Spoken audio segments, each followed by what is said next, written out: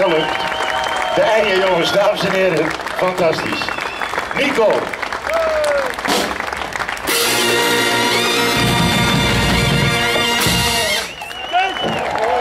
Zo, dat waren